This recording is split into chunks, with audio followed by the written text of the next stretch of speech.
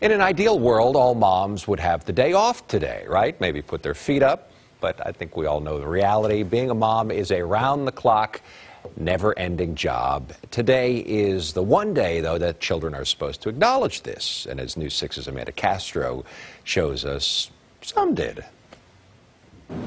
It's Mother's Day up and down Park Avenue. We've got first time moms and moms with lots of grandchildren here celebrating this special day, and everyone soaking it up and enjoying the moment.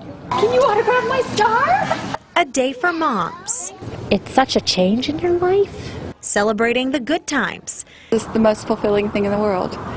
You know, I can't think of anything better. I wish everybody could experience it.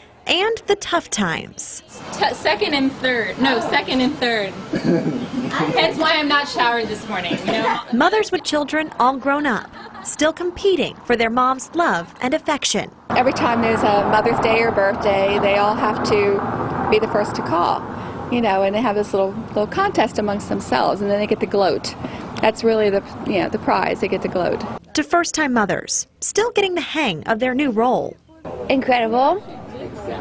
Exhausting. Joyful. My husband just fed me that line. I wouldn't trade it for the world.